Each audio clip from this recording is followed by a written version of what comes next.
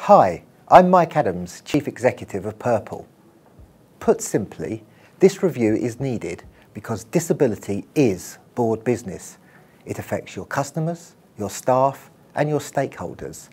And there are 13 million disabled people in the UK with a consumer spending power of 249 billion, but less than 10% of UK businesses have a plan to engage disabled customers.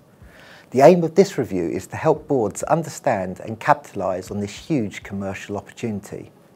And there are some real benefits to having a more diverse boardroom and workforce. First, there is a strong correlation between greater diversity and financial outperformance. And being inclusive opens your organisation up to a bigger talent pool, different ways of doing things and a wider customer base. Get it right and it can be a virtuous circle. There is an incredibly strong business case for building a disability strategy. We know that consumers demonstrate loyalty to brands that support disability. 80% of disabled people acquire impairments whilst of working age. Developing a strategy around disability can help retain and develop talented staff.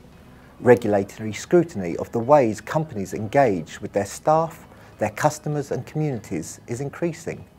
And we know more investors are seeking out companies that are engaged in social impact programs.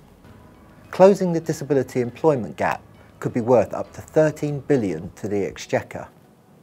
Finally, we know that disability can be viewed as a complex, sometimes sensitive issue, so organisations that are just starting their journeys can benefit from external advice and inspiration from those that are leading the way. I hope this review will help you on your way.